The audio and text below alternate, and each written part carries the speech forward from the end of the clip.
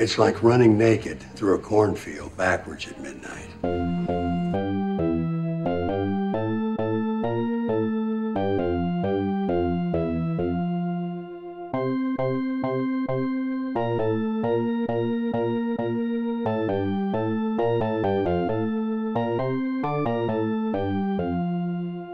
Hey, it's me. I just wanted to add here at the beginning. This episode was recorded about two weeks ago, and then life got in the way for a while. So Biden hadn't had his hemming and hawing and not really doing anything about the Israel Palestine, uh, the Israel rocket attacks, oppression, occupation that is going on over there. Anyway, similarly, there hasn't really been a lot of progress on the infrastructure debate. The Republicans have gone up to almost around half of what the original suggestion was on that.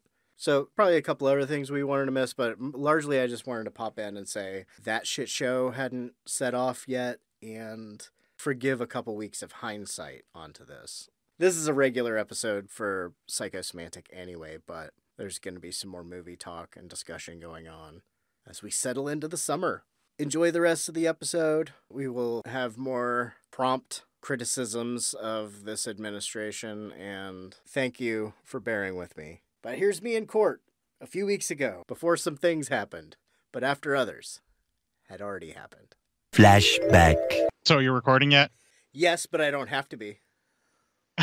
no, it's totally fine. Welcome to another Psychosemantic podcast. You probably recognize that voice on the other side of mine, but that is Mr. Cort Psyops back again. I am Daeron, who is always here. So far, I, I'm not saying there won't ever be. It would be weird if there was an episode without me, but nothing's definite, except for Mitch McConnell will never die. oh, don't say that. No, it's gonna happen. He's mortal. Just because he's a turtle and he's gonna have an exceptionally long life does not mean he won't die. That will happen. And hopefully within both of our lifetimes so that we can take a road trip to piss on his grave. Because the pandemic's ending, right? Like it's it's all over now, right? I mean, the rest of the world might be dying off, but like we're getting vaccinated, so things are cool. yeah, and you know, we, Okay, what what we what, what we really want to talk about, or what I I approached you because I needed to kind of just lay some stuff out, and I'm like, you know, didn't we do hundred days for Trump? Shouldn't we do a first hundred days for Biden? Like, you know, to be fair and balanced. I think that's basically how I phrased it, right? It was something like that. I I'm sure we did something. I mean, with Trump, it was like Every five days we had something to bitch about. yeah, it, it, it was holy fuck. Wait, okay, and the way people were just moving past everything like that, it was like if we didn't talk about it then, it was gone until he did it again. Yeah, it was like the next day there's like five more tweets that could possibly have ended the world and make you wonder why the fuck that maniac had their finger on the button. I'll tell you what, man, my stress levels and my worry and my fear has gone down significantly just because Joe is so sleepy and hasn't done a thing, right? Nothing's changed the whole time he's been office. Uh, it's time for Cort to eat a little crow, I think. well, welcome to the smorgasbord and soapbox. Well, I, all podcasts are soapboxes. So Soapbox surfing. That's what you want. Soapbox surfing. yeah, I well, I think we kind of have to try. But I think a decent amount of people are like, now he's not going to complain about Biden because Biden's not Trump. That's not true. But I think if Trump ever did anything good, which if he did, What we consider accident. good. Let's be fair, because there are Yeah. Yeah, there are some Yeah. people that would believe that the things that Trump did were good. And those people also think that Q is like a real thing that they're a part of and that they're doing something good, also known as morons. Yeah, all those all those people in groups that are led by people who have been arrested for child pornography, fighting child pornography. They think. yeah. Yeah, yeah. If you if you fail to see the irony of the situation that you are in when you are living satire written by a deity who's laughing at you like he's Terry fucking Pratchett. you you just don't fucking get it, right? Like like like you just you, you're just not going to be there. Now, there's some things that Biden is doing or some things that Biden has said and there's a few things that he's promised that he has yet to deliver on, but uh, he's doing a slow and steady of a lot of the stuff that I said was just going to be artifice, or that I was saying I was fearing that I was I was saying that I was fearing that this was just going to be you know this got him into office and there's not going to be enough to re- like push it. And Bo's telling me no this is going to be the most progressive presidency we've had at least since FDR and so far knock on this wood that is the desk for for my my studio here he's slowly but steadily bringing this stuff out. But the most important thing to me the part that I like the most about the way that he's doing this is that he is taking people that he knows will do what is the right thing, like morally speaking, and he's putting them into the positions to do the thing that is right.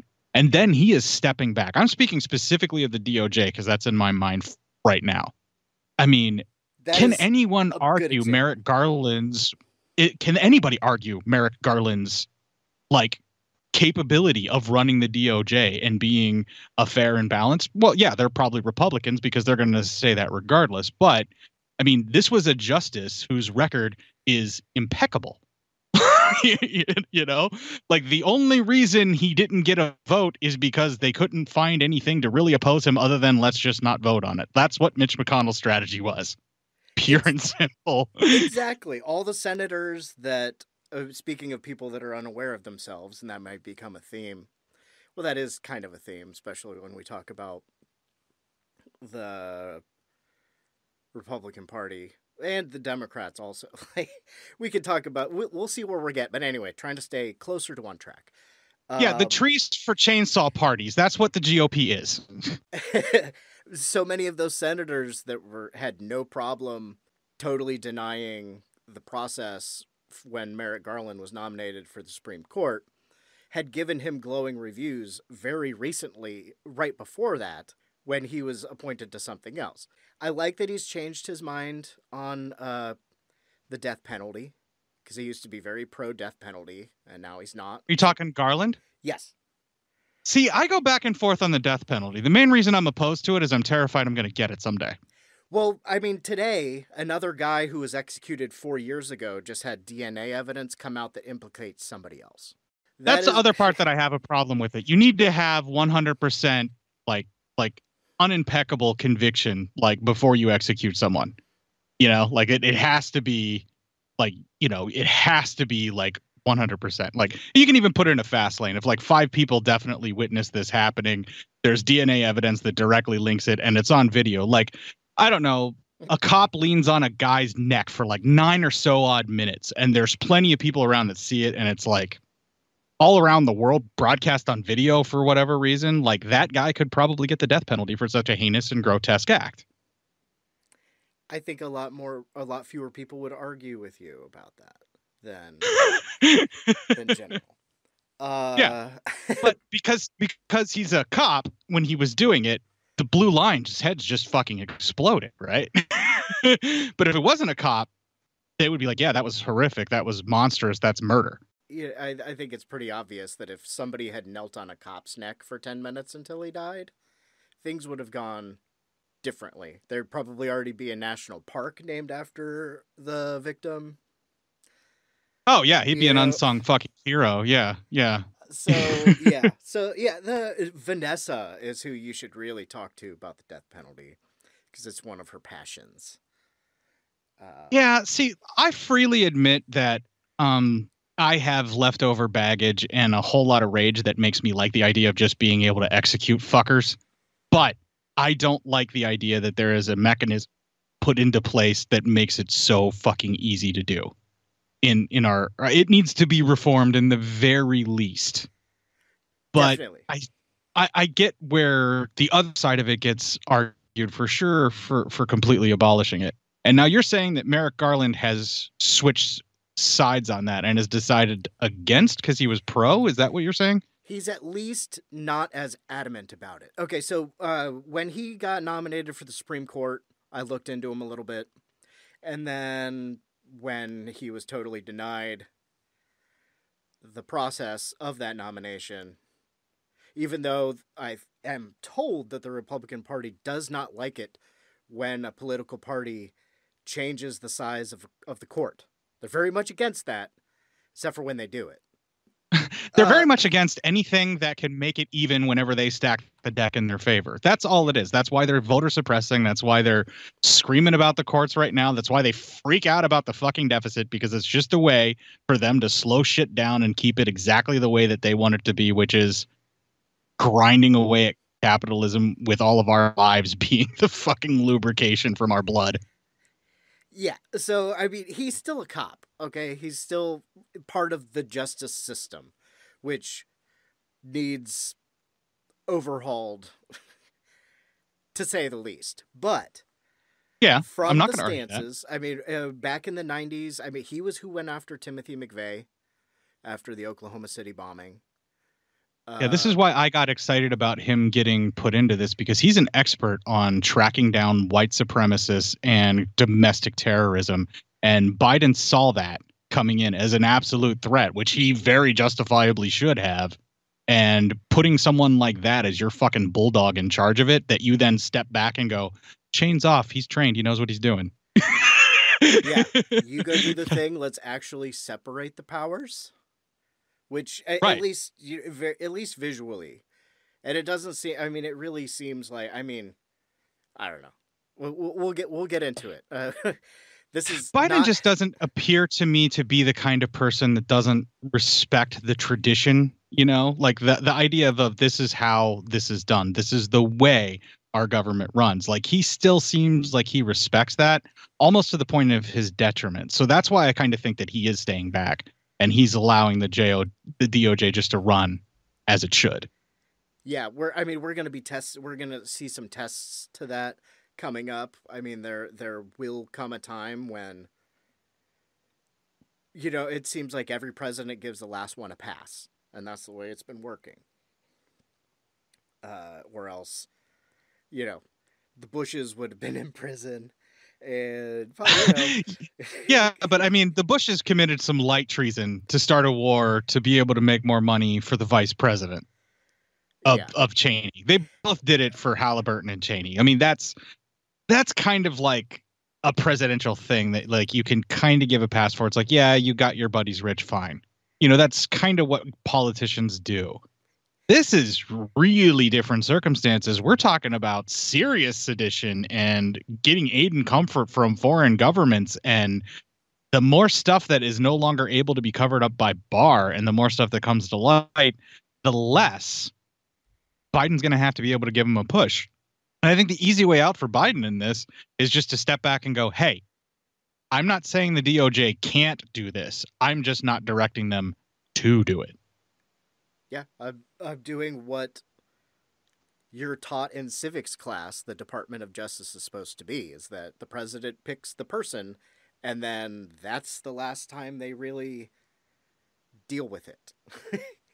Wait, wait, civics classes? What are those?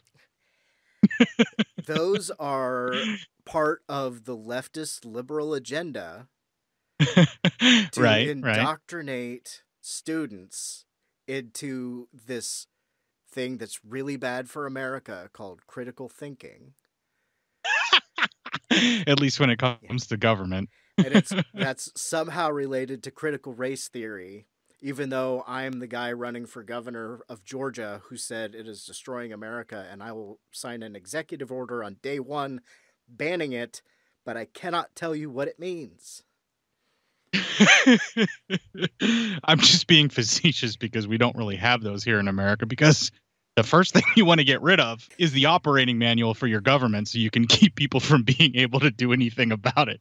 i don't know i i i they teach some of this stuff still in schools i mean i had a lunatic government teacher who had a mace that he'd bash the trash can with and then go down to the, the teacher's lounge and steal like cupcake cupcakes or donuts out of there and then sell them in class to raise for a charity that he was doing stuff. He hated Bill Clinton. And we had a kid in class named Clint, so he always called him Mr. Clinton. Uh, but I don't know if kids have those weird civics teachers anymore. I think most of them got tenure and you and I lucked out in the age frame that we're at to where the ones that had tenure stuck around and then they either died off or they finally just gave up and retired and that's when civics fully died But there was a serious push to remove civics and all of that kind of stuff. Even when we were like little, little, like in the early 80s, there was a lot of that being dropped out and they changed it around and all of that kind of stuff because they didn't want people to think critically. And the easiest way to do it is just to talk about how boring politics are supposed to be. But like, if you pay attention, man, a lot of the stuff that people love in their entertainment that keeps them going is just politics of the past. Yeah. You know, like if you if you're watching like fucking Rome and really really digging it, but then you look at the news and think, "Oh, all this politics is boring." Uh it's kind of the same shit, my man. You just aren't paying enough attention. And and it's, it's your actual life that you're playing with. and if you've looked at an argument underneath a sports story, the arguments are just as ridiculous. So I don't want to hear that. yeah, yeah. It doesn't matter. I mean, even fucking guitar parts. People argue over how many times a pickup needs to be wound and how this one pickup that was made in 1960s with very little QC involved because that's just the way it was and you never knew what was actually the pickup itself. That's so much better than a pickup that was designed nowadays to replicate that sound with the same elements, but it has quality control to get the right amount of winds for the exact amount of resistance to make it just as loud as it needs to be. Because there was less QC in the 60s, they sounded better. I, I don't know why people argue that, but they do. It's like, you know, people argue stupid shit that they really fucking shouldn't. Look at us. Look at what we're discussing. We're supposed to be talking about Biden's 100 days, and now I'm talking guitar shit. Well, you know, he, he maybe I don't know, maybe he plays guitar. I think you will like this news. I hear they're getting a cat. Yeah. Uh, have we had a- cat from home? I'm not sure. Have we had a? Is it first cat? What's it? First pet? What? What's what? What are they? I First think dog? they call them first pets. There have been cats in the White House before. Okay, Uh, I think Bill Clinton's cat was named Socks. that But- sounds right. But I think uh, you know uh, other presidents before that. I feel like Teddy Roosevelt had a bear or some fucking thing. Um, I know we're talking about the general idea is it's about hundred days in. You brought up FDR, and that's kind of when people started talking about the first hundred days. As Yeah, because he is truly the president that did the most in his first hundred days, and is the standard by which all other presidents get judged, and that is why that is such a mile marker. I remember reading that in an article shortly after Biden's hundred days ended, not so long ago.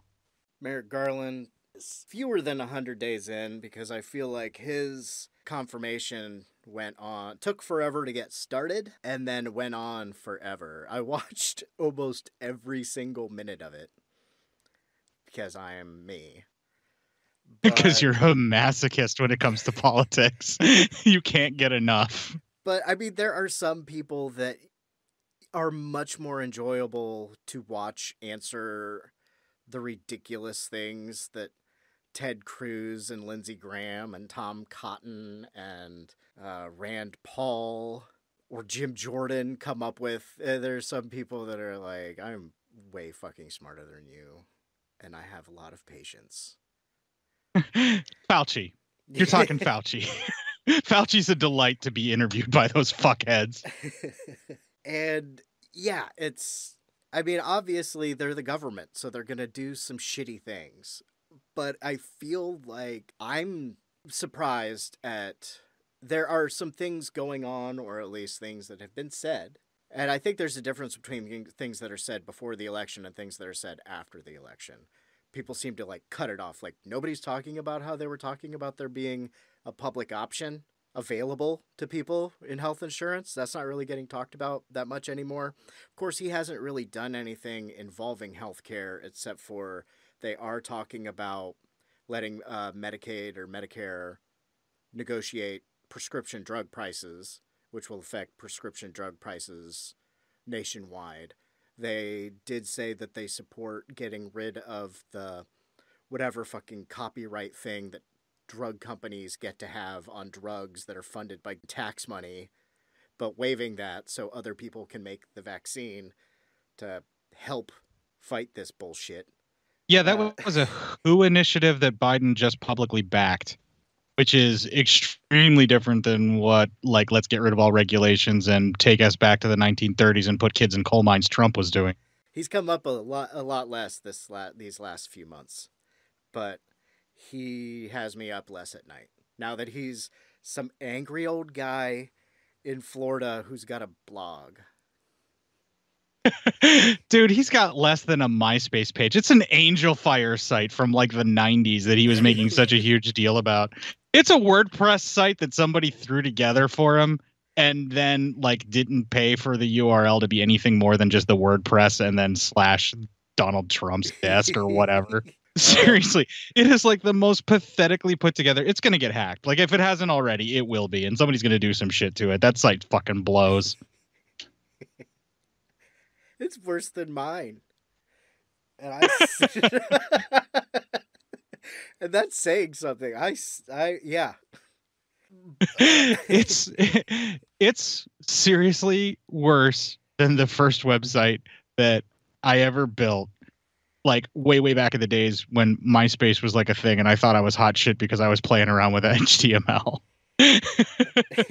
it's terrible. There was one website or what I for, don't even remember what it was called that we used for one of our first band websites. It was supposed to be really really easy, and I still couldn't do shit. I I I think the farthest I got on there was I could upload photos from the oh, dude, it's it's really really bad. It's um the the Creed's blog from uh, the Office that uh what's new sets up for him, where it's just a Word document that it made it look like an internet link that Creed can click on. So that Creed's it was like Creed thoughts backslash blah blah blah. It was like a fake browser thing, and it's just literally Creed typing stuff up into a Word document, and adding photos, and thinking it's going on the internet. Last year, Donald Trump asked me how to set up a blog, wanting to protect the world from being exposed to Trump's brain. I opened up a Word document on his computer and put an address at the top. I've read some of it. Even for the internet, it's pretty shocking. That's what it is. Only somebody actually put it on the internet. so that shit show aside, I know we're gonna have to deal with it a lot in a couple years, but I I feel like yeah, yeah, he's entrenching himself in the GOP in a bad way. I mean, look what's happening to Liz Cheney. And I can't believe I'm saying poor Liz Cheney in my head when I'm thinking this, but like the GOP, the entirety of it is turning around on her just because she said, no, that was sedition. No, that was wrong. No, that was treasonous. Yes, Trump is responsible. But they're so desperate and they feel the rats fleeing the ship or dying from COVID on them because they're old age, and they don't know what else to do. I mean, that's why they're suppressing votes. That's why they're they're hitching our wagon onto Trump because it's a totally sinking ship, and they feel like the anchor is going to keep them afloat, right?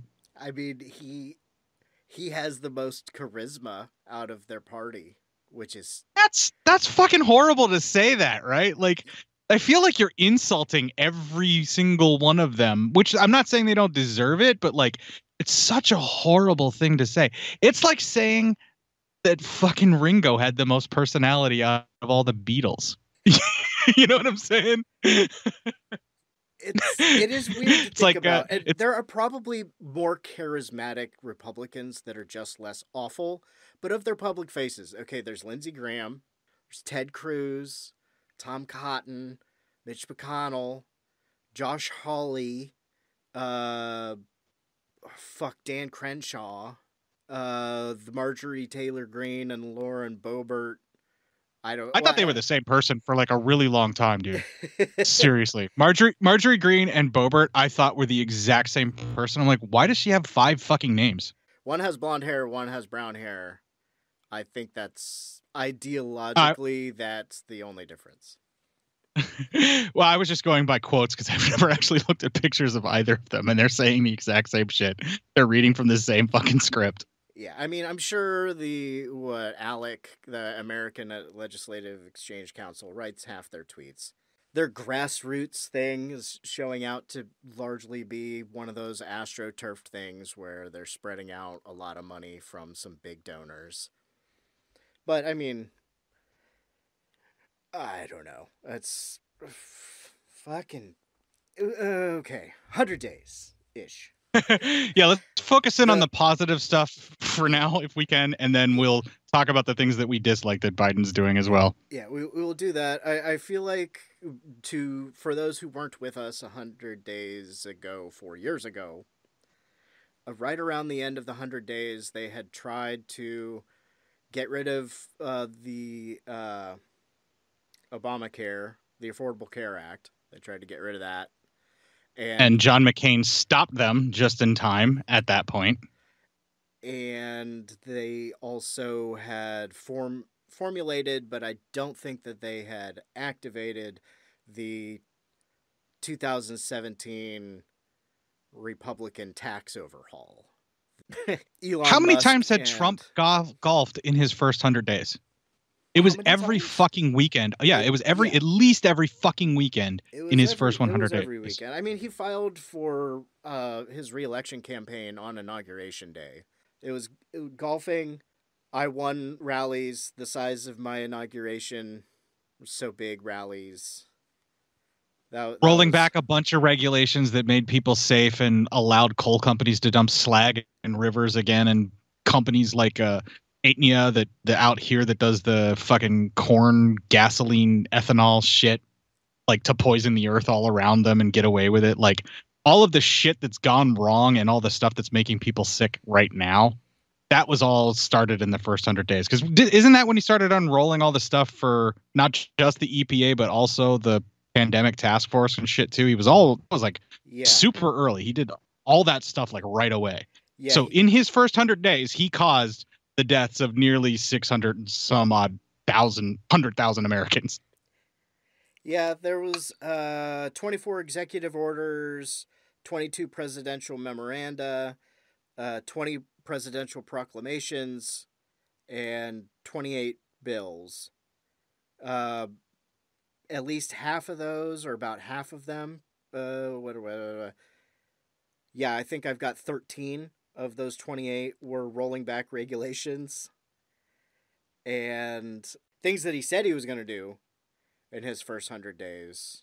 Pretty much none of those things happened except for the mean things. Like the Muslim ban got started. He got working Anything racist, cruel, and genuinely would just harm human beings just for the sake of harming them. That's what he did in his first hundred in his first hundred days.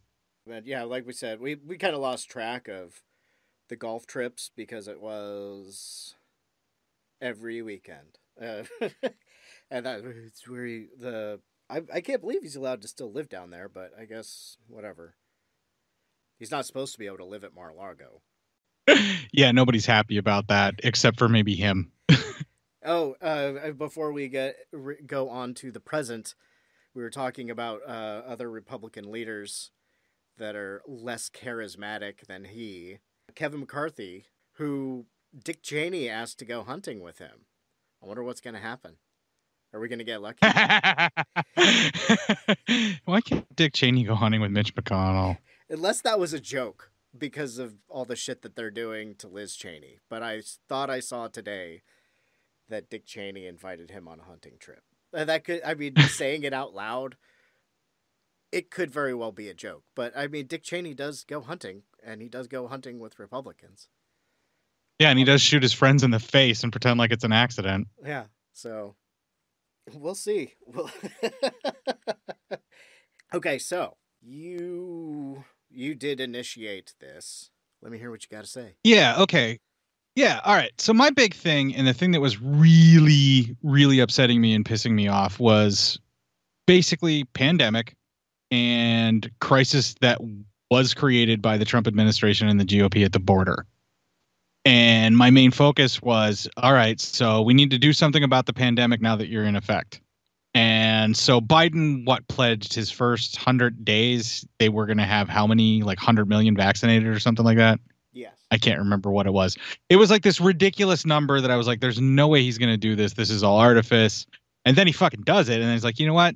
That's cool, but can we do 200 million? Can we double it before my 100 days are up? And they got close. Did they do it? But they got real fucking close. At the end of March, uh, the BBC said that he doubled the 100 million. One of the things that I had was The CDC has us as the U.S. has delivered 235 million vaccine doses. I don't know if that's people, but that's 235 million doses. Well, you can't force people to take the vaccine without really getting into infringing upon their civil liberties. But they opened it up and they made a way federally for everybody who wanted to be able to get one extremely earlier than what they were thinking they were going to could get them. Uh, in my state, I don't know how this works for yours, but my governor, who is a complete piece of shit idiot and wants to be the next Trump so fucking hard, and he's trying so hard to do it, but he has, like you said, no charisma, no personality, and his head looks like a giant penis, or at least the tip of it. Um, but Ricketts was blocking it. He would not allow federal anything to come in. Like they were going to set up a fucking tent and just start offering it to like really get this going. And Ricketts is like, nah, that's fine. And he moved it to all of the areas where all of his supporters were, just like fucking Trump did, where the only people that got aid during the actual pandemic were people that were his supporters or would fucking kiss the ring or whatever it was that he wanted. A little gratitude. Well, that's what fucking Ricketts is was doing and he was trying to block that and keep it from getting the vaccines and he was literally blocking Lincoln and Omaha which are like the two biggest population senators or centers he was blocking them from being able to get what they needed and was making sure that there was an overabundance everywhere else in the very rural areas. Like they just completely took the supply and siphoned it off to everywhere else but the cities where the most people were going to get them. And so by the time they made it federally, where like, okay, they lowered the age federally, um, and then started making it to where pharmacies would be able to dish these out to people, and there was a pharmacy program where you could go and and get these. That's when everybody in Nebraska just jumped on those, particularly in those two cities. And that pissed him off so bad. He got so angry about it. And so like it's infringing upon everybody's rights. But all they did was just open up the access that they already offered to every to everybody. And I don't think my state is the only one that's done that. It's pretty much every fucking state with a Republican governor is having the same thing happen where they are purposely trying to tank the ability of the federal government to respond so that they can go, well, look what's happening in my state. They're not helping us here. But there's records being kept that they can't really lie about because they were like, no, you refused it. It's right here. You refused the aid that the federal government was offering you. No additional charge for these vaccines. So there is oppositions to people getting healthy and getting a vaccine that they need to save their lives in the name of politics happening definitely in my state and i know it's happening in other states as well. Like i think they did that shit in texas somewhere too. In a lot of places and i really hate to do this because i hate him so much. But my governor is more like a w. Bush kind of republican where yeah make your you know, friends money but don't harm people to do it unless they're somewhere else overseas and or a darker shade of skin than you. Kind of i mean he he that is kind of republican. he is connected to that uh i think it's 62 million dollar racketeering bribery case that uh the former speaker of the ohio house resigned from his position. He did not resign from state congress he just resigned from being the speaker after he got indicted in this bailout bill they did that was subsidizing coal plants and nuclear power plants, some of them not even in Ohio. And the energy company was involved in this giant bribery thing that is connected to our governor. He pretty much signs anything that has to do with making it harder to get an abortion. He didn't really do anything about religious gatherings, but I mean, last March, early March, he was one of the first governors to cancel like a big thing in the state, and he started really strong. And then he just sort of eh, just give gives it, it. It became there are mask mandates, but there's not really much punishment, and he's not really fr- There's all this uh, rainy day money that they call it saved that they just are, weren't spending, and they're like, well, we got to get money from the federal government. Uh, that sort of Republican shit. But he, yeah, we've had the National Guard in. He's all, I mean, every day, even now, he's going on Twitter like, there are no microchips in the vaccine. Please wash your hand. You know, it's He's Yeah. at least trying to undo the damage that their party had done because he realized that he's killing off all of his followers. I think the GOP starting to realize that all of their followers are dying because they're they were pushing this anti-vax thing because it made Trump look better or or the anti-mask thing because it made Trump look better as well. If they push those conspiracies then the reason that Trump wasn't so big on all of that is because, you know, that way it's you know part of the deep state plot and you know, blah blah blah whatever it is that they can do to try and make Trump look a little bit better. And he at least it sounds like realized that. I mean, my governor at the very start of everything did the right thing and closed the fucking state down, but then immediately opened it up like within just a few weeks. Mm, like i think it was it was like it was like some kind of recommended thing and they were like okay yeah that that three months is good. Let's everybody just open it back up and uh you know start coughing on each other as best you can and we're all good now. Everything's fine. And then you fast forward like a full like year or so later and boom it's all the same shit largely the like we were saying earlier with the Republican Party falling in line behind their figurehead, the Great Orange Monster. Fuck him. It's been about a hundred days since he's lost that kind of power. The camps are not closed yet. There have been some reunifications. Well, the investigations are allowed to start happening where people are going in and looking at the conditions. There are repercussions. I've seen certain things in the articles where things are moving and families are starting to be reunited. That was a huge fucking clusterfuck. I understand that that took some time. Yeah, I was real passionate about it and I was real fucking angry whenever Biden was coming into office. And I was like, he's got to do something now. He's got to do something now. But like, when I s- sort of step back from it and I'm like, God, how many people? How many in each camp? How many fucking camps? Are they all recorded? We even know where they all are? And then ICE being resistant against it because they feel like they don't have to answer to the president because they don't want to answer to an actual president, a sitting president. That needs to be dealt with as well. There's a lot of resistance on that. So I understand that there's been a delay, but just about the time that I'm like, Jesus Christ, when are they going to fucking do something? You know, the next step is being taken. They moved him from this horrific camp to at least a little bit better of a camp because they don't know where their fucking parents are and they can't identify the kids and they're working on it.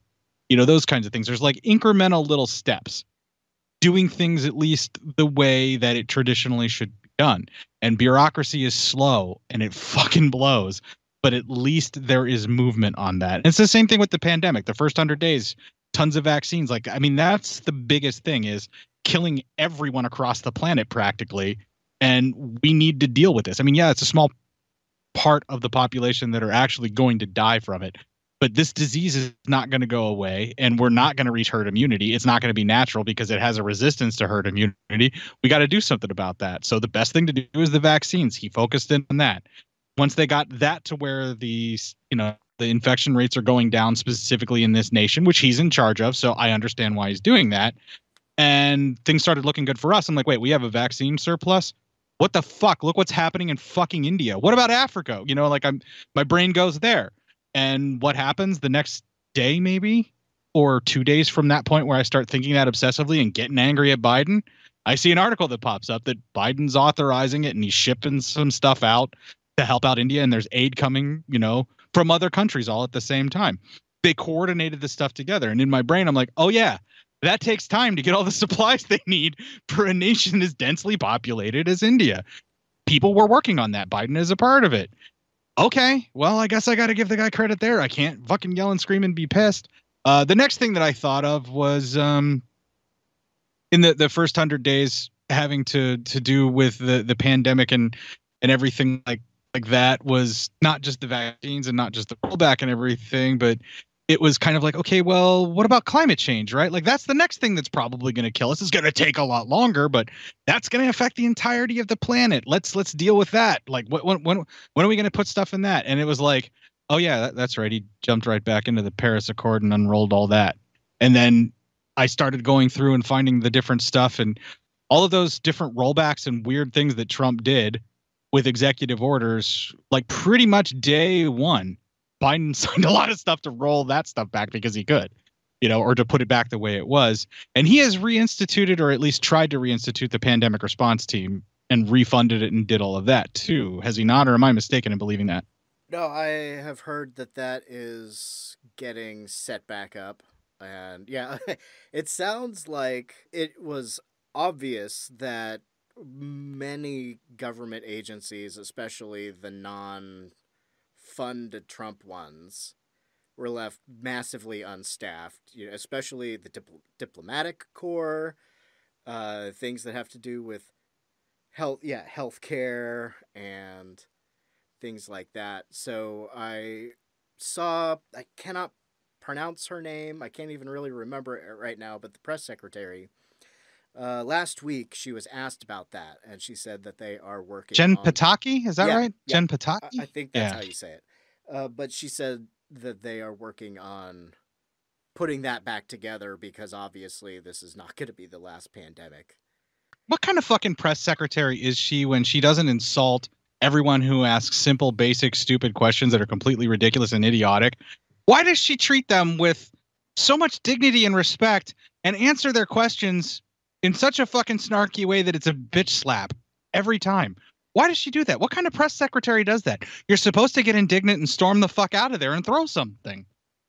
Yeah. Oh wait, fair. that's not that's not the normal and I, I got that wrong. I'm just I'm sorry. Just so much abuse after four years. I, I'm sorry. You got no. The, like I said, like I say almost every episode when somebody apologizes for getting passionate about something. Part, part of the cornerstone of this show is to let my podcasting friends and allies have a place where they can talk about this shit. So that yeah, by all means, passion is good. Passion is good. All right, so because- we we're, we're back in the we're back in the Paris Climate Accords. Uh, Biden is working in some Green New Deal stuff into his infrastructure plan. Uh, he's pushing something for solar for that that desert in California where they wanted to put in like a big solar thing that would really take care of like energy for like a good bulk of the grid for America. There's like a big solar farm that like he funded or put something like he got funded or did something to make sure that that got put into place. Um, the infrastructure plan is essentially FDR part two, though, right? Like, I mean, as far as what I could tell from reading it, it's very similar to the original New Deal and our infrastructure plan that they were trying to get up against or butt their heads against with their- for the GOP was trying to stop is very like what I could understand is very similar to that. It feels to me like Biden is almost looking at FDR the way that Trump looked at Andrew Johnson.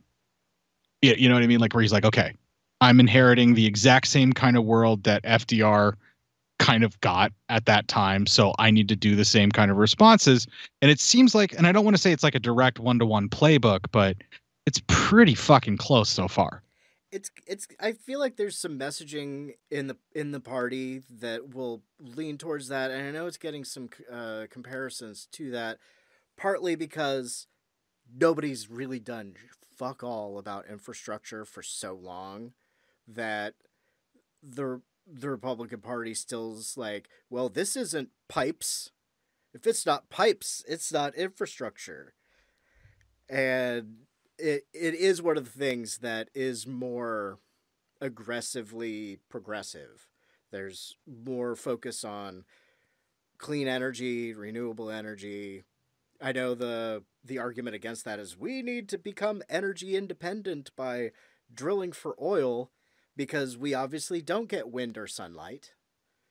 Or, or the- right or and- geothermal or uh, any other type of renewable energy that is so much easier to use and not based on putting more carbon into the atmosphere to warm our climate and kill us Yeah, and and I like how he worked in in his little almost State of the Union thing, but it wasn't technically State of the Union because I think that has to be after the first year. Um, yeah it's the 100 days like okay this is what i did can we can we can we get like a whoop whoop that's basically what that speech was I think he does sort of seem to have that vision of America where he thinks that he can work with Republicans and things like that. Because I mean, he is he was like my fifth choice or something like that for president. But He said, you know, there's no reason why Yeah. the propellers for our wind turbines can't be built in Pittsburgh instead of China. I feel like that was a definite, you see, fucking people, this is a good idea sort of thing. Well, see, when Trump was talking about let's do America first, what he really meant was dog whistling for KKK. Like let's let's do KKK. Let's let's make American for Americans, like Americans. You know that kind of bullshit is what he was trying to do. Whenever he was talking about that, he was running on a populist platform saying what's about the population. It's about the little guy. You know, what's what we're gonna do. We're trying to make America great again. And he didn't do fuck all for anybody except for the super ultra fucking rich. That's the America that he cared about. And then everybody that's in the GOP was all about that. Biden comes in and he's like, "All right, look, uh bridges are collapsing all over the country. Pipes are bursting and also poisoning, you know, poor people with lead in Michigan. Um roadways everywhere suck. Our railways are completely desperate and just falling apart. And rail cars are something that I'm really into. And by the way, it's a great mode of transportation. He's like, the main solution now is to move as many people as possible, as quickly as possible, back and forth across the country. And he's all about the bullet train, man. That seems to be the thing that he wants to do. And like you were saying, he does go on to kind of tell us, like, it's not like the rail systems that these cars are going to run on have to be shipped over from another place in the, the world. We have this metal here. We have the foundries. We have the people that will work those jobs, you know? And he all but was like, I mean, like, I feel like he was just saying, we can get some people together and make these workers like form a group and the workers will have the power. Like, he just felt like he was like so close to going Norma Rae on some of the stuff in some of his speeches where I'm like, are you, are you winking at unions? Is that what you're doing? I, I don't know how exactly to phrase it. Like, you know, that, that I, I, it's almost like dog whistling to that, you know, almost where he's like hinting at that, you know, but like dog whistles has such a negative connotation. So it felt more like um he was just kind of in the speech, he was just kind of like winking and nodding to it. Like the things that made America a great country and the things that made America strong and what made America what America is, is the fact that the workers unite and build, you know, like things like that. He was saying things like that, like where he's literally like focusing on how the working man or you know the working person the, the people that are on the ground building these things are what build things strong not the person that supervises it and oversees it. Like i felt like that's where his focus was was shifting. Like he's trying to get people to realize like you know let's do this like this amazon warehouse let's fucking unionize this like i feel like that's what he was kind of winking at when he's doing this shit but maybe I, am just overreading into it. I don't know. It, it's gonna be one of those ev- like we like we should do and like we have done. It's gonna be one of those rolling evaluations. I think it's good. I don't really like who some of the people that he put in charge of, like the Fed, uh, Janet Yellen. I think that's Commerce Secretary. I, I can't remember where she was, but she was actually somebody. She hasn't done anything bad yet, but in the past she supported some shitty ideas and she was actually one of the failed promises from Trump's first 100 days was that he was going to reinstate her and he never did. But yeah, I mean, transportation secretary uh, Buttigieg is also really into trains. And hey, train trains are fucking cool, especially bullet trains, you know? Yeah. And I don't know if you've got one in uh, Nebraska, but here in Ohio there's been a rail a lot of rail advocacy groups but there's one that's really into it and they've been working slowly and slowly and then as it seemed like right after Biden and Buttigieg got in place they're really ramping up and really supporting and working on the, the Amtrak and the connection because uh you know we have trains. I think it's Pacific Pacific Railways or whatever is like headquarters here like um okay and Omaha was one of the big like it, it, was like i mean it's pretty much the dead center of the country so when railroads were first being built and uh, the indigenous peoples were being slaughtered to put the railways in place this was like the mark where like if they got here heading uh, west that meant that they you know but at a certain time that meant that they were beating the people working from the west coast to to close it in. Because the whole thing was it was a gimmick. They were racing to meet in the middle. And you know the further one could get versus the other meant that they were the winner you know and like omaha was like one of the marks. And so the, the pacific railway is like big here. There's a lot of jobs and there's a lot of rails but mostly it's dead. Mostly the the train stations here are super fucking scary you know when they used to be grand and, and glorious. And i think if we could get people transit where they could take a train across the country in about the amount of time it takes you to fly sit there and wait at an airport for a connecting flight and go somewhere else you know because that still takes like what eight hours give or take to fly across the country like that if you get a layover.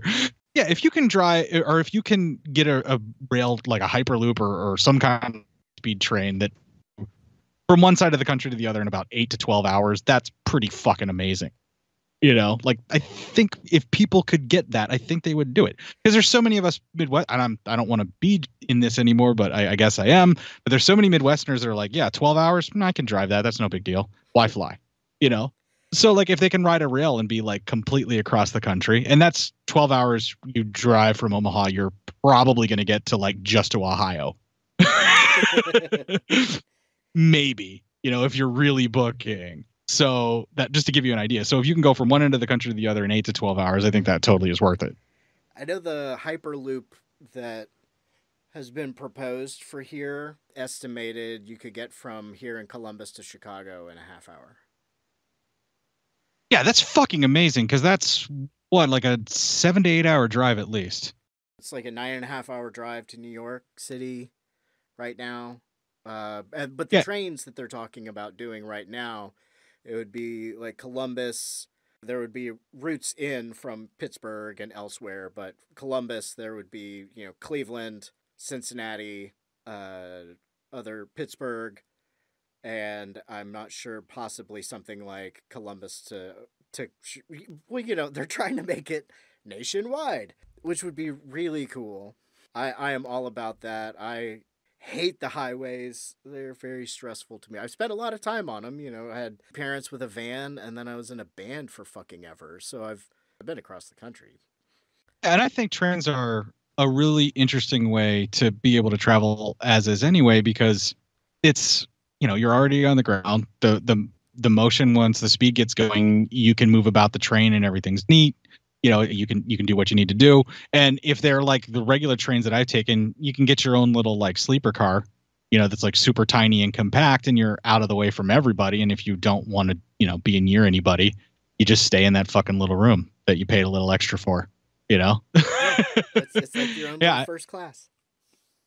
Kind of yeah. And i i think that's I, I think that's a really good method of travel that we've really kind of neglected and we haven't tried to develop because it doesn't really burn enough fossil fuels and doesn't really make enough money for the big wig fat cats like it used to. That's where air traffic came into play. Everybody just found that super convenient.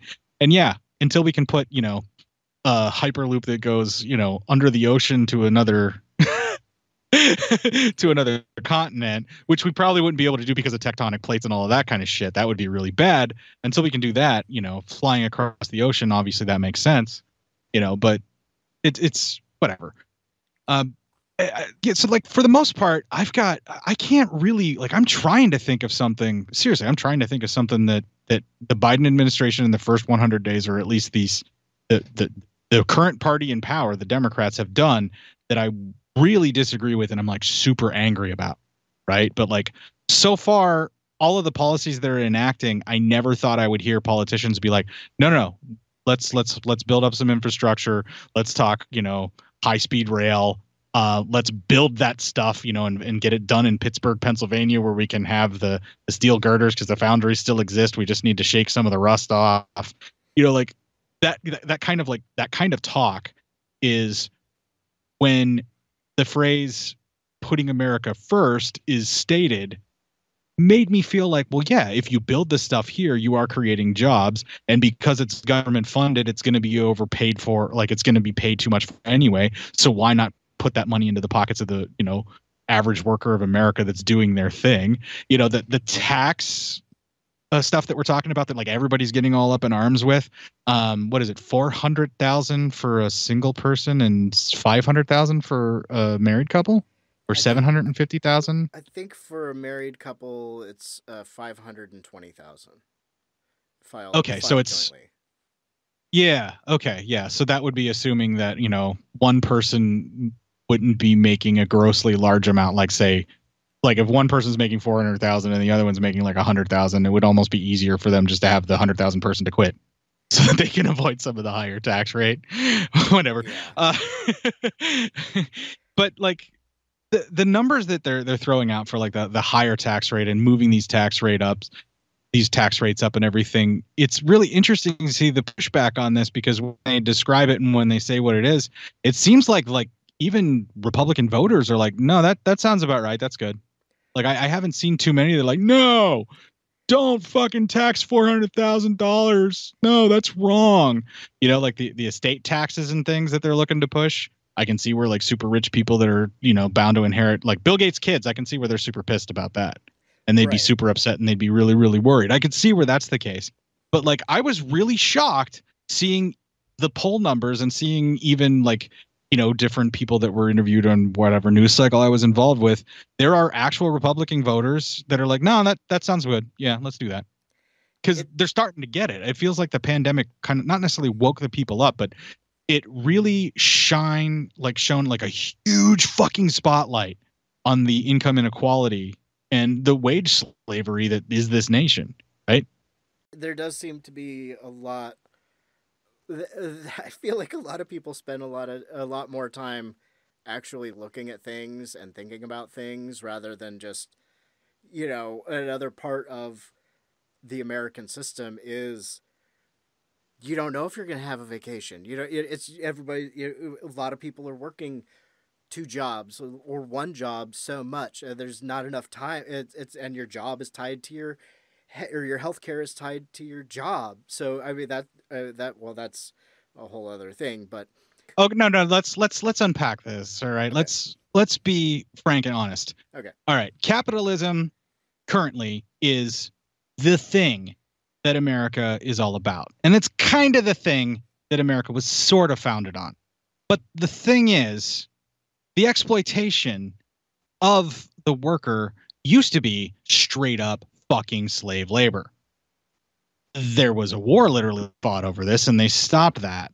So they had to find another way to exploit the worker to be able to get two, three dollars out of them for paying them two, three dimes. The way that they did that is they literally paid them two, three dimes and they had them making things worth two and three and four dollars. Started fights about that. We started getting unions formed, and then the working man started getting part of and when I say the working man, it's just the, the typical phrase, the working human. I'm trying to be a little more inclusive here. I'm sorry. But like the person that's doing the actual physical labor, the actual worker started getting more of the wage per hour and really, really fought for it. And like the, the collective bargaining started making that happen to where you couldn't force someone to work seven days a week. We had a 40 hour work week and that was the max. Anything over that was time and a half. Like there were serious bloody battles fought for all of this. And every single one of these things put in place made what happened in like the 40s and the 50s with America actually really kind of expanding because we had living wages. The idea of the minimum wage or the living wage was a human being could work a single job at this livable minimum wage and still be able to afford a home and food and to support a family. It was supposed to be one worker. That was the idea because that was the idea of the nuclear family. Now, the idea for minimum wage that they're trying to sell us now is taking it back to the you get two dimes while the boss makes three dollars on you. That's all they want to do. And the way that they're doing that, the way that they're making this wage slavery happen is they continue to keep the minimum wage as low as they possibly can and only raise it begrudgingly when they think there's going to be another general strike. Then they raise it just enough to just appease the people and get them back to work. And the way that they found to tie this is well, you already don't have enough money and you can't afford to stay healthy and stay alive. So now you are literally having to work for them under penalty of death from whatever health issues you may or may not have that could possibly arise, or your family and those that you love. So you need to keep coming back to this job and you need to keep kissing that boss's ass and you need to keep doing this work and you can't fucking strike because your kid could fucking die. Your wife could fucking die. And the only way you can keep them healthy is to keep in this job just so you can have that insurance. That's why I'm a fucking wage slave where I am. That's why I haven't just fucking left because I have to keep the health care for myself and my wife. The reason they don't want Medicare for all, the reason they don't want that isn't just the insurance industry and what they're doing to push that. I mean, their lobby's very powerful and they're keeping that going. And the same thing with the healthcare industry that we currently have that's healthcare for profit, which is a whole other level of fucking exploitation. I mean, that's fucking extortion in my book, right? Your health can only be kept up if you pay me this ridiculous amount of money. Oh, you broke your arm? Well, you're shit out of luck unless you pay me this ridiculous amount of money to get it fixed. The only difference between that and a guy going out and busting kneecaps is the kneecap got busted before he got there. you know what I'm saying? Like that's that's what they're doing. They're wage slaving the fuck out of us because they can and they can get away with it. But when the pandemic happened and they had to begrudgingly give some of these folks unemployment because they can't work under actual penalty of death, a lot of them started realizing that those jobs that they were working aren't worth the money that they were being paid. That that heartache and that stress that they were going through wasn't worth the wage theft that they were going through. And you know what? The unemployment's got them for the health care because they have a certain Medicare right now too. So that fear is gone. And there's all these fucking like dollar stores and restaurants and all these other fucking wage slavery institutions that are forcing every single person that works for them to work for literally nothing just so they can barely stay alive and scrape by and get more debt to those fucking institutions. The only reason that the only power that they had like once people realized what it was that they were doing now dollar store and mcdonald's and all these other fucking restaurants that are paying people shit they can't get workers because they got better resources and their families being better taken care of than what they would at at uh, uh, fucking working at Burger King. So they just say, you know what, I'm not going to work. They don't go there. And the more people that realize this, the more people that do this, if we could actually, like human beings in this country, could actually somehow, I don't know, just collectively get together and what's the word I'm looking for? Bargain, like collectively bargain. Like if they um, join join together, like um, uh, like a, uh, um, when you join things, you you unite them. Unite. There we go. If we Oh, that's not good for that many people. What would you call a group of people that collectively bargain and are united, man? What would you call that? The type of people that want to make a general strike against uh, the evils of capitalism. Yeah, like like everybody gets together, they generally strike, they're united and they work together for collective bargaining to make sure that they are taken care of and given a living w- oh. union union union uh, right let's, let's an amalgamation? Uh an alliance. Right i mean that's that's the next logical step and i gotta say as much as people give millennials and zennials or whatever it is the, the younger and younger crop of workers that are that are coming up the the the 20 year olds that are just getting out of college and the high school kids that have just graduated that are starting to enter an actual workforce and looking to get an apartment and just make ends meet you know take care of themselves and just fucking start their lives as adults they're seeing the scam. They're seeing right through it. And so it's a real interesting time to be alive. It really fucking is. So I don't know, man. It's it's a good mark for the first hundred days because it feels like everybody at least is kind of coming together in the same direction. And the only people that are resisting it are the QAnon fanatics, the GOP craziness, and their fucking cult. But there's so many more like even GOP voters that like the uh, irrational thoughts and they kind of got their shit together, you know? There are some very popular things that look closer than they have in quite some time to being actuated. Now, I think yeah, like I said, we're we're going to have to wait and see cuz still most of this is s- stuff somebody's saying they want to happen. And the overwhelming sense of dread that I had 4 years ago today when we were doing this, you know, or eight years ago, or no, four years ago today, whatever like it was. Years, yeah. Yeah. It felt like 72, my man. But uh, the, the overall sense of dread that I had has, has lifted a little bit. My general disdain for humanity uh, and the, and the, my fellow Americans, it's not necessarily lifted, but I have a sense of hope that I have not had for a really, really long time. And that's the major crow that I have to eat. So, and I know he listens to this stuff at least just to make sure that nobody's talking shit about him. So, Bo, dude, I said I would admit to it if it happened, and that's why I wanted to do this hundred days. I have some hope. I I have some hope. I want everyone to like get that in their head. Me, the eternal pessimist, has some hope. That's good to hear. That's it's it's easier to keep fighting for good things when there's hope. And damn, did we did we just end the episode? I, I can't think of a better place to end it. I mean, just throw up a poster of me with the word hope like they had for Obama. no, that would be wrong. Don't do that. Are you sure? yeah, that, that would be. You, You'll- you could name I'll, the. I'll make one and you'll look at it and we'll decide. I just feel like that's bad. Um, maybe we'll we'll change it to a synonym, a synonym, a synonym of hope, perhaps. But I definitely have that filter. Put me on a fucking union poster. That'd be cool. I got it all out. I got everything that I needed to say, and the fact that I have hope is pretty much my closing. So, I mean, what is it? Don't forget to duck and cover. Don't let them take you to a second location. I'm trying to remember all the slogans you used to have. It uh, yeah, uh, get the duct tape on the windows.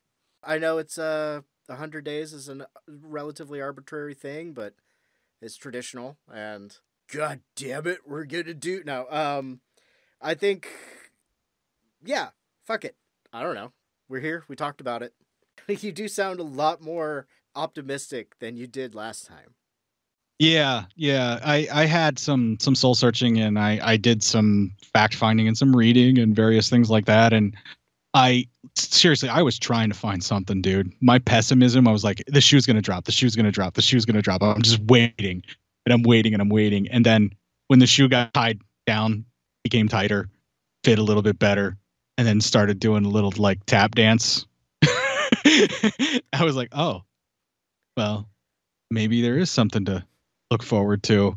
And the longer this 100 days went on, the more of the things that I was like, well, what about this? What about that? Like, I I, I tried to keep a catalog of it because I told Bo that I would do it on on air, and everything that I can think of that I kept in the index of my angry fucking brain about, well, they better do something about this. They better do something about that. There was movement, and then when there was movement, I'm like, okay, well, what now? There should be more movement, and just about then, there's been more movement. But the problem is, the country is so fucking hyper fucked when Trump left that it's going to take for a good portion of Biden's presidency to undo that and fix it. But he has so much other stuff that he needs to do. So I think throwing all these different irons in the fire and having all these people working on all of these things is probably a good thing because he's probably got focus pulled in a million different directions. And the main thing that that administration needs to focus in on right now is getting us all vaccinated, getting us all to stay alive, making sure that we're all treated, and then move forward from that point. And I feel like that's on track and that that machine is running and they're allowing the healthcare professionals to do what they need to do.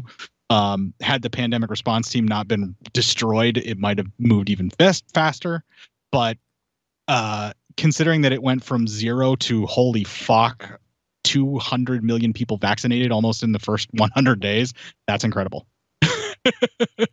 you know, so hey, I I have hope. Yeah, we'll see how he deals with ICE. We'll see what happens with the infrastructure plan. We'll see what happens with the PRO Act, which is the workers' rights and uni- unionization. And we'll see what happens with voters' rights. I feel like those are the big main main things. But yeah, it's like general government gripes right now. For me, nothing that I'm more optimistic than I thought I was going to be at this point. I'm at the point now where I am literally like going after local officials and my governor and things like that here in my state. I give no fucks about the state that I live in. This is just where I landed because this is where my then girlfriend, now wife, went after college because she had a job. You know, that's just that's all Nebraska is to me. I've lived here for way too fucking long and I still fucking hate the state. but like I willfully was like, yeah, let it destroy itself as long as I can take care of myself. It's fine. But I've gotten to the point now where I'm like, well, I got nothing else to obsess about and be pissed over. So I guess I'll just turn my attention to this fucking dickhead looking motherfucker. That's what's Yeah. happening because I have hope now. And you're you're gonna have to give me some. I don't. I'm. You're gonna have to tell me some movie characters that he's like. If if you need some of that alternative photography, because other than putting him into anti government, anti marijuana government propaganda videos, I'm a little dry on his character. Yeah, look at all the other states across the country that have already made it legal. You're gonna kill your kids. What a fucking jump. Cool. Well, yeah, all those things that he said. Uh, don't forget to duck and cover. He did what we all must learn to do. You and you and you and you. Duck and cover. End of flashback. This'll keep you quiet. Oh, hi there. I didn't see you. You caught me cutting a new show. I'm Bo Ransdell, and I'm one of the many creators you can find on Legion Podcasts. I said quiet! My fellow podcasters and I work hard to bring you the best in horror podcasting, but that comes at a cost. Wouldst thou like to live deliciously? Not that, but also yes.